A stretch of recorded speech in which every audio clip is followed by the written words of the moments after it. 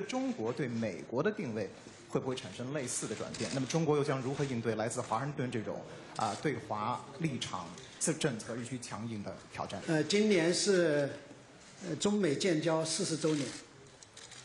呃，四十年来，呃，中美关系总体上保持了稳定，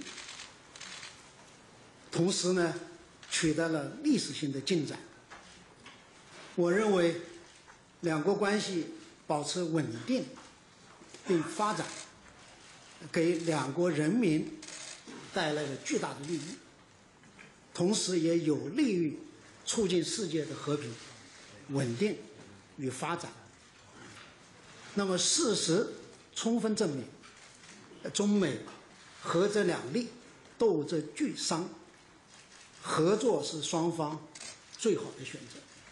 呃，应该看到，中美两国的利益已经深度的交织。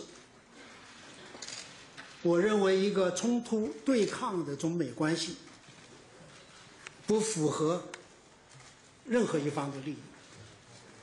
另外呢，用冷战的旧思维来处理全球化背景下的新问题，是肯定没有出路的。我认为中美经贸关系的本质是互利共赢的，因此我们希望双方啊继续抓紧磋商，达成互利双赢的协议。